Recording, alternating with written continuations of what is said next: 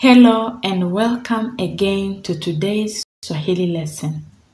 In this lesson, you are going to learn how to talk about your family in Swahili. Repeat after me as we are going to learn by reading a simple text. Karibu. Familia yangu, which means my family. Jina la familia yangu ni Selassie. Inaishi Accra. Katika familia yangu kuna watu wengi. Jina la baba yangu ni James Selassie. Ana miaka hamsini na tano. Ni mrefu na ana sura nzuri.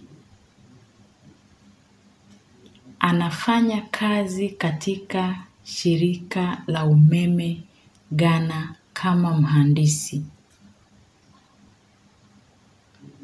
Anapenda kusoma vitabu na mara chache kutizama filamu. Jina la mama yangu ni Olivia. Ni mwembamba na mrembo. Ni mhadhiri wa chuo kikuu. Anapenda kutizama filamu na kupika. Nina kaka wawili na dada mmoja. Julius, Jacob na Julia. Julius ana umri wa miaka thelathini na mbili. Ameoa na ana watoto wawili. Anafanya kazi na shirika la kigeni huko Tema. Mke wake anaitwa Mary. Ni mweupe na ana nywele ndefu. Ni mama wa nyumbani. Jacob yeye hajaoa. Ana umri wa miaka ishirini na tano. Ni mnene na ana sura nzuri. Yeye ni daktari anafanya kazi Kolebu.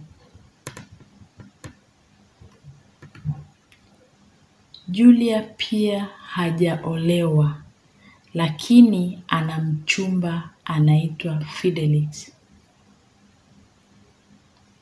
Anasoma shahada ya sheria chuo kikuu cha Ghana. Dada yangu Julia ni mrembo na mtulivu. Mimi nina miaka kumi na nane. Ninasoma biashara katika chuo kikuu cha Cape Coast. Ninapenda familia yangu kwa sababu tunaishi kwa amani na upendo. Orodha ya misamiati which means list of vocabularies.